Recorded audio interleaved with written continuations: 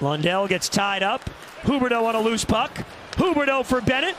Bennett takes a look, centering feed to Duclair oh,